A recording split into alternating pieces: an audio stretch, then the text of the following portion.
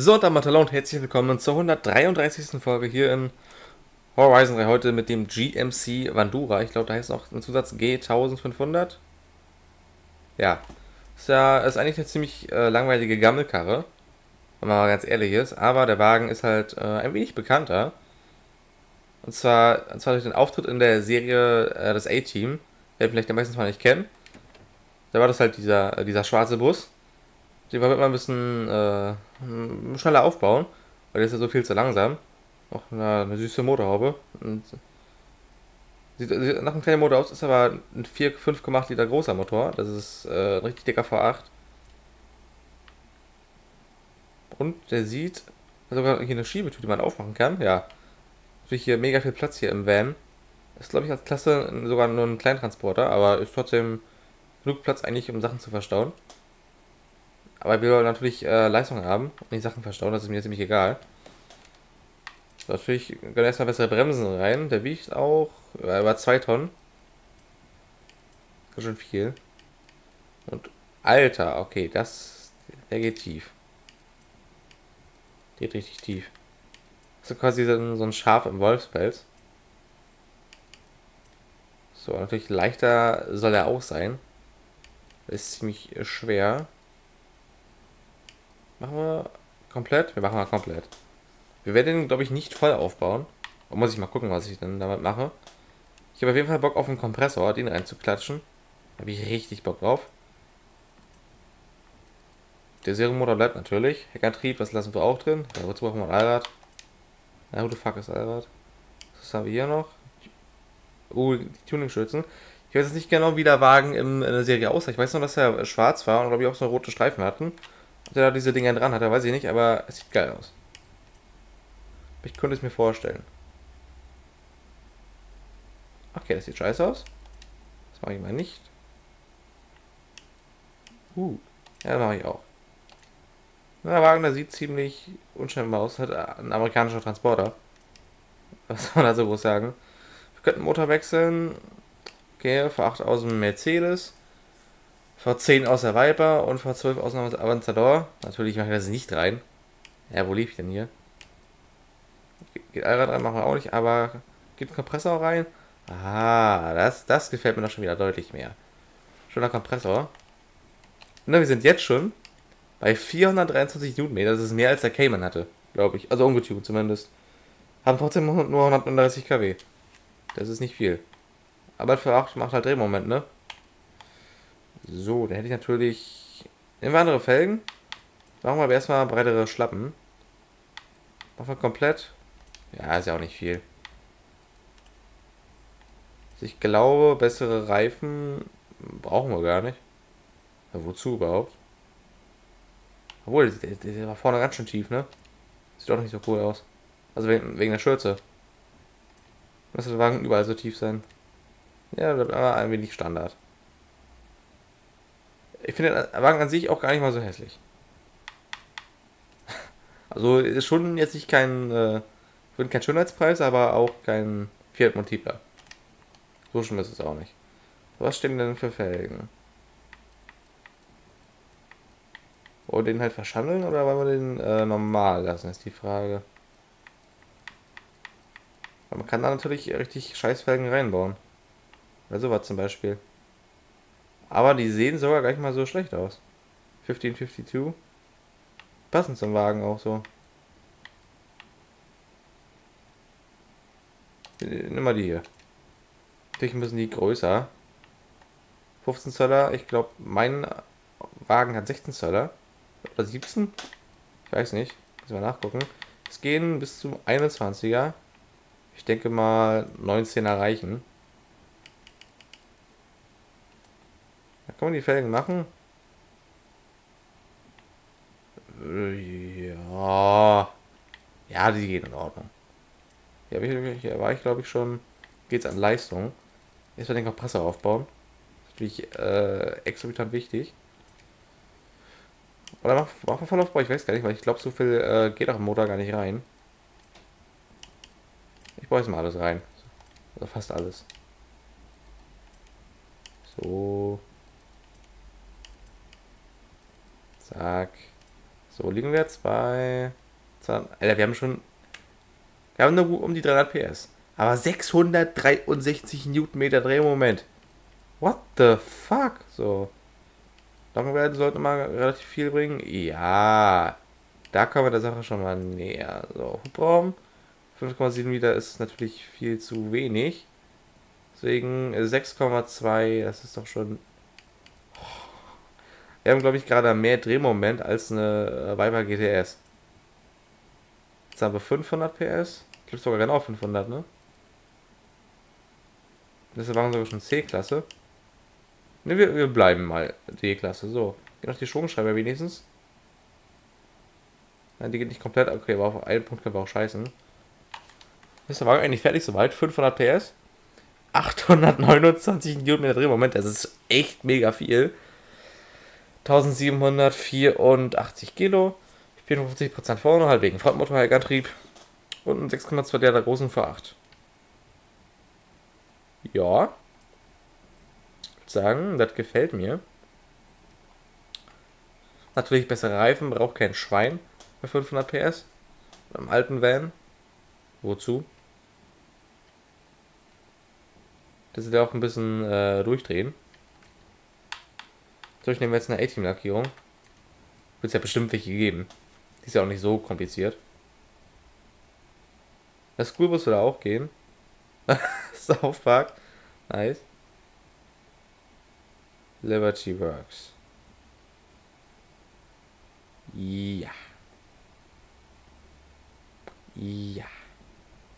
Ist klar, mein Freund. Okay. Okay, Rost. Ey, das sieht aber geil aus. Und das ist kein großer Fan von Taylor Swift, aber gut getroffen. Das nur für den. Äh, okay, Trump aber natürlich nicht drauf. Arabisch.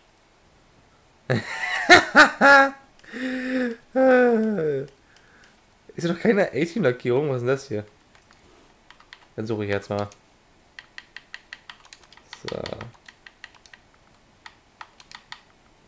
Nein, Twarm nicht, sondern Team. Meine Witze wohl was geben. Warte, wieso ist da nichts? Wollt ihr mich verarschen? Ich suche nochmal. Mach jetzt mal noch einen Strich da so, ey. Team. Jetzt ob er da nichts findet. Ah, der Strich war wichtig.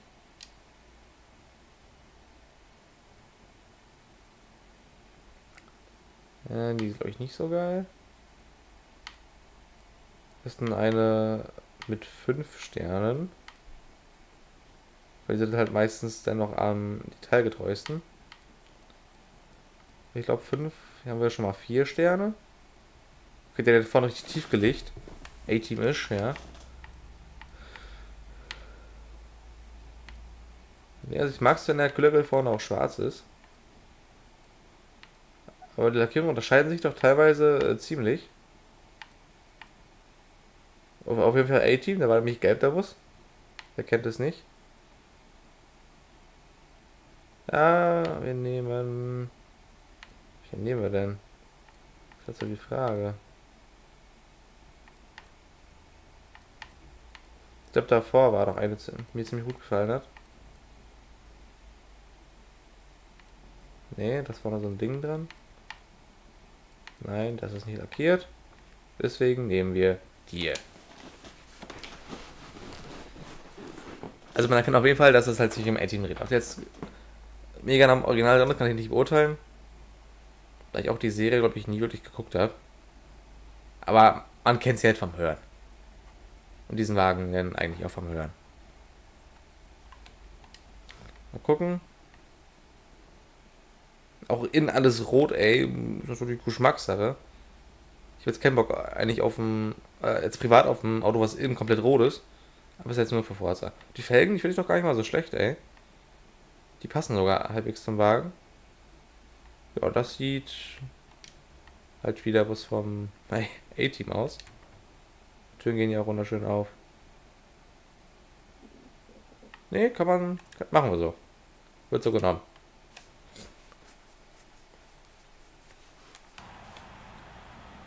Es ist auch gerade nachts hier und der, oh, der war auch blubbert.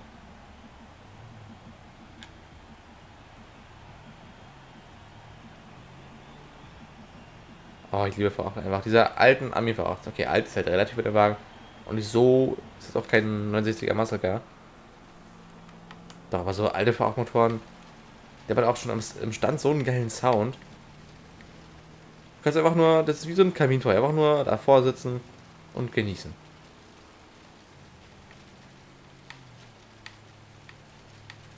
Könnte aber auch gerne wieder Tag werden.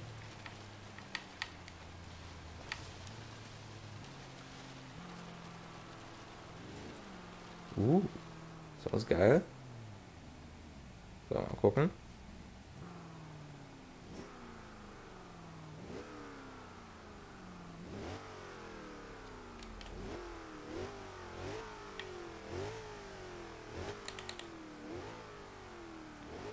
Gefällt mir. Meine Dinger passen glaube ich, auch ganz schön. Warte.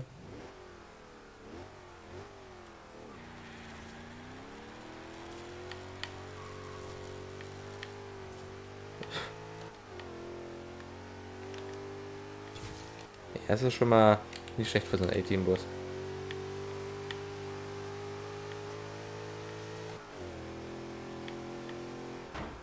Boah, geil.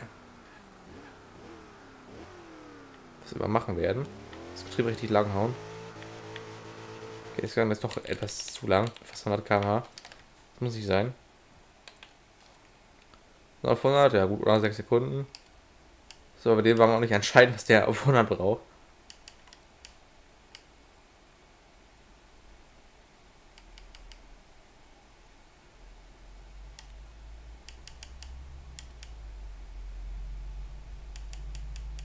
Machen wir dem wieder ein Vierganggetriebe. Was endlich auch reichen sollte.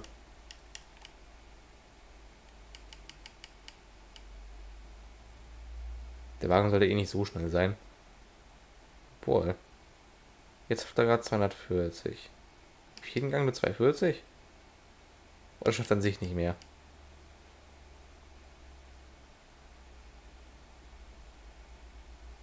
Schafft an sich nicht mehr. Warte, ich muss noch die verlegen. Das Wichtigste vergessen quasi. Komm. Also die verlegen ist trotzdem halt hoch wie ein Bus, ne? Und über 20 Zentimeter.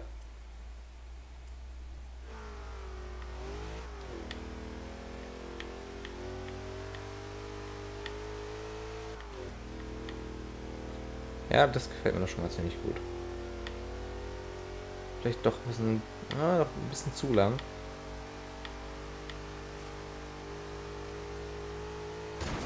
Bam, Junge.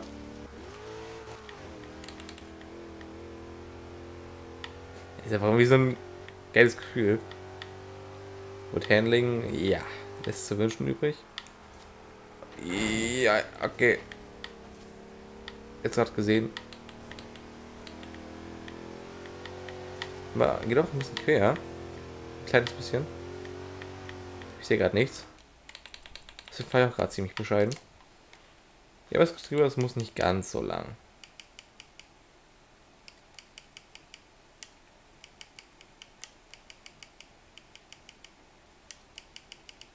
So. Gleich beide nehmen. So. Länger brauchen wir. Mehr nicht. So. Dann natürlich äh, fahren wir auch ein Rennen. Vielleicht sogar zwei. Wer weiß. So, hier zu eins um die Ecke. Das ist ja quasi wie geschaffen dafür. Mach ich Anna Eva. Okay, bremsen. Gut. Wisst ihr auch Bescheid?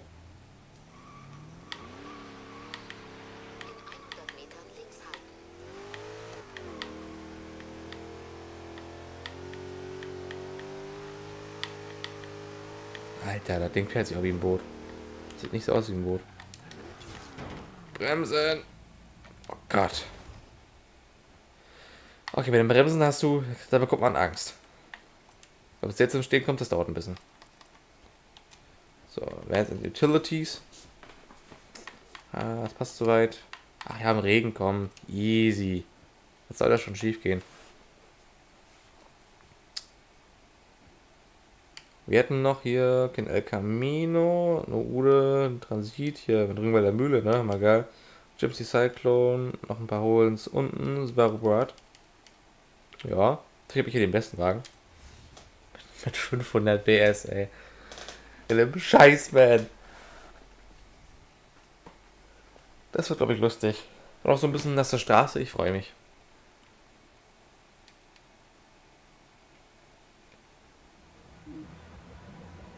Wieder prima Lackierung am Start. Und wieder Transits. So. Wow. Ich bin der Einzige, der keine Transit hat. Gut. Das ist Mobbing.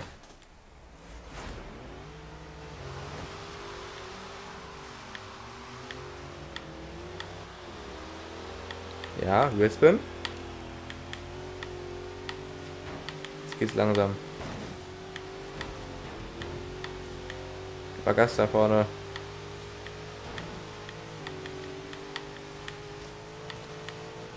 Okay, mein Wagen ist schnell. okay. Der Wagen ist wirklich ziemlich schnell. Oh. Also ich brauche mal früh. Ging sogar. Ja, ich habe, glaube ich, etwas mehr lassen als die anderen. Kann ich mir vorstellen. Nur so eine Vermutung. Stimmt wahrscheinlich gar nicht. Das Setting ist noch so gut, ne? Deswegen ich so weit vorne. Aber hier Kurvlage, man sieht's 1A. Und dann die Kurve, ey, da kann kein Porsche mithalten. Das habe ich jetzt echt nicht erwartet. Dass wir wirklich so weit vorne liegen. Das jetzt schon. Na gut. Einfacher Sieg für mich.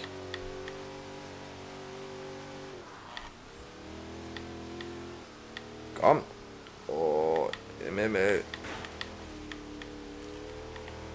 Ein Design? Steht doch oben 18 drauf? Oder habe ich noch gar nicht gesehen? Hallo. Ja. Geradeaus fahren ist nicht so.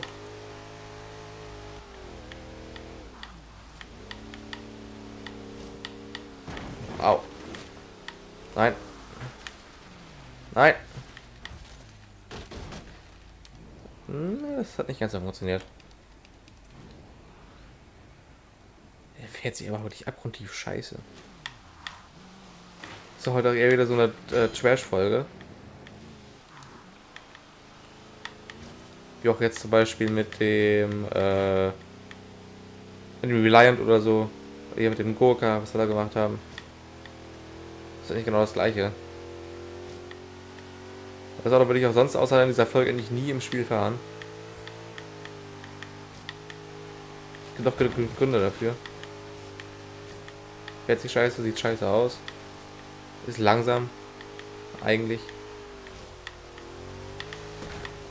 Wenn jetzt auf D-Klasse da dominiert er halt. Ich habe halt keine besseren Reifen. Der wäre wahrscheinlich schon A-Klasse. Weil wir haben auch bessere Reifen, ja? Wir haben noch ein geiles Handling wieder hier hochfahren. Fast 200 km/h einem Kackbahn. Also, ne, wenn so schnell mal auch der Postbote unterwegs wäre, dann würde der Amazon sich innerhalb von zwei Stunden liefern. Das machen die, glaube ich, sogar auch schon. In Großstädten. War das nicht mal so? Oder gibt es da nicht irgendwie so einen Dienst bei Amazon? Also jetzt nicht Prime meine ich, sondern irgendwie auch so ein Spezialversand, der auch natürlich äh, relativ viel kostet. Wo Lieferungen, glaube ich, auch innerhalb von wenigen Stunden kommen. Ne, von zwei Stunden sogar teilweise. In ausgewählten Großstädten. Wäre auch mal cool, ne? Bestellen so in zwei Stunden da. Ey, das wäre mega. Aber hier auf dem Dorf bei mir, das wird nichts. Da können die auch mal im Flugzeug fliegen, das wird auch nichts. Das Paket äh, auf abschmeißen. Mit Fallschirm ausstatten.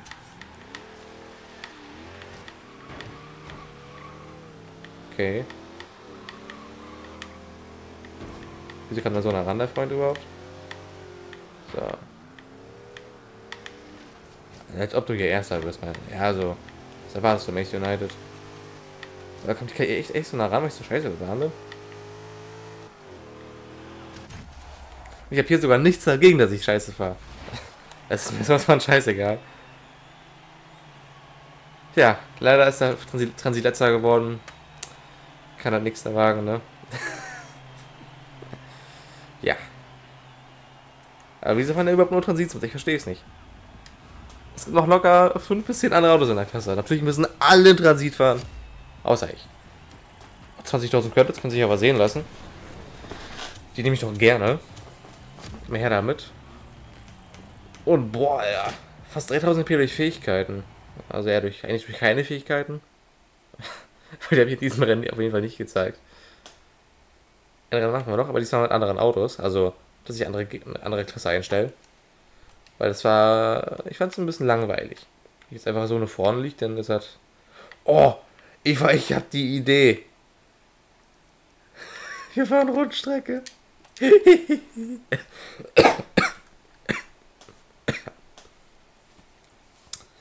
Das ist doch perfekt. Ich mach hier Rundenzeiten-Battle.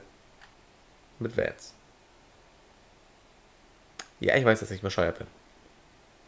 Daran, weil es früher morgen ist. So, machen wir mal. Oh, das, das wird lustig. So, machen wir diesmal einen eigenen wieder. Aber eine andere Klasse. Wir nehmen American All-Stars. Reasonably priced cars. Iconic Movie Cars, na das ist doch. Äh, drei Ründchen. Das, das passt soweit. Das Bild müsste, glaube ich, ein Aston Martin DB5 von James Bond sein. Hier natürlich ein Charger, ein 512 TR, wo war der denn? Weiß ich nicht, natürlich hier auch Focus. Volkswagen Octavia, Mustang Coutage, wo war der? Weiß ich nicht. Okay, Transam weiß ich. Ein Gurka Fast and Furious, glaube ich. Super, klar, ne? Na, siehst du. Ist überhaupt einer irgendwie D-Klasse. Also, beim Fuhrpark nicht, aber da ist schon mal alles was D-Klasse auf jeden Fall. Deswegen passt das schon. Der Gala GMC, Und wer es nicht weiß, GMC steht für General Motor Company. Eine Marke von General Motors. Also sehr kreativer Name. Ne, GM und GMC. Da waren die Leute sehr kreativ bei der Namenswahl.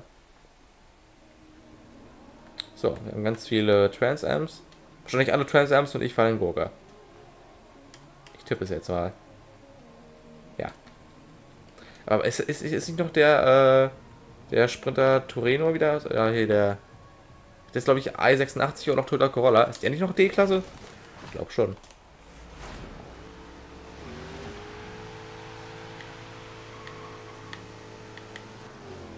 Wundervoller Start. Egal, ich es noch A-Team. Gibt auch dazu einige Mutterwitze. Hier, deine Mutter fährt bis vom A-Team. Ist ja nicht ein Scheißwitz? Aber wollte ich nochmal erwähnen. So. Jetzt jetzt. Oh, die Kurve, ey. Haben wir so eine gute Kurvenlage. Und noch gute Bremsen. Die sollte man auch haben. Okay. Bremsen, Fabian.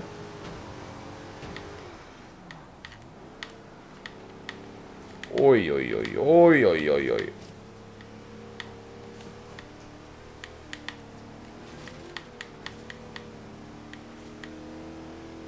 Wieder mal mehr Leistung als alle anderen. Deutlich mehr Leistung. Aber als der eine andere. Wagen sind ja alle gleich, die Trans Amps. Eigentlich. Oh, die Klasse, das scheint ja ganz gut zu sein. Ist halt, äh, egal für Leistung. Aber gerade zieht er halt eigentlich alles ab hier soweit. Jetzt nicht noch ein Mercury Coupe auf die Klasse, die vielleicht nicht mehr. Was hat hier Dingsmotor? Das vielleicht nicht. Was ist ein Serienmotor? Geht doch ordentlich was rein. So, Nummer 2. Wieder mal äh, mit leichtem Vorsprung erster. Wird sich, glaube ich, auch bis zum Rennen nicht ändern.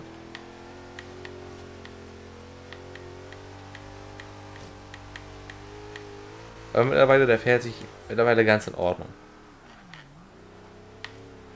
Ich, der Gurka war noch schlimmer, oder? Ich glaube schon. Ich meine, die Red Robin sowieso. Ist er dann noch schlimmer? Gute Frage.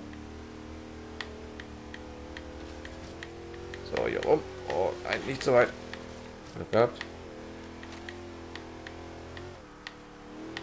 Schöne Rechtskurve. Wieder ein bisschen quer geht. Fahrrad braucht er auch gar nicht. Das geht auch so.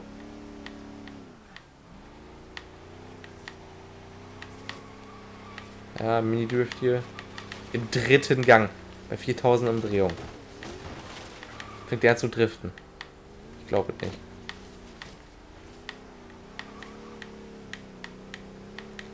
Ich werde mal mit dem Wagen auch die ganze Runde einfach mal driften. Das geht wahrscheinlich sogar.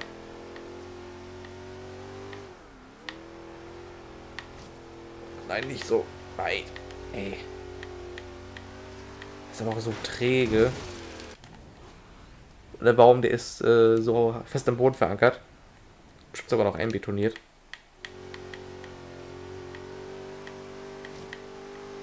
So, wir wieder fast 200 km/h hier drauf.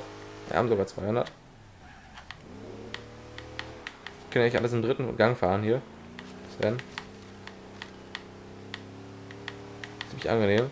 Da geht er wieder quer. Da wieder.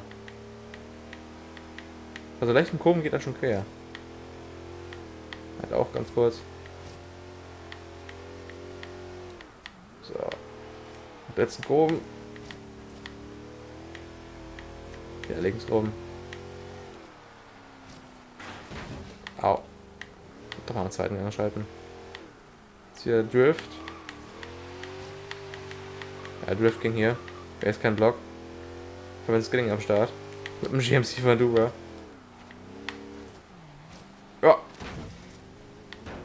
Da war wieder ein geiler Drift, hat man gesehen.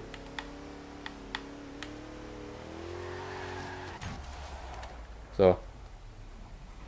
Erster geworden. War diesmal wieder ziemlich einfach. Gegen. Die Trans sind, glaube ich, sogar getuned, oder? Die sehen getuned aus. So Rundenzeit, äh, wer hätte es gedacht, die beste. Dafür muss ich mir aber nicht auf die Schulter klopfen, dass ich das gut gemacht habe.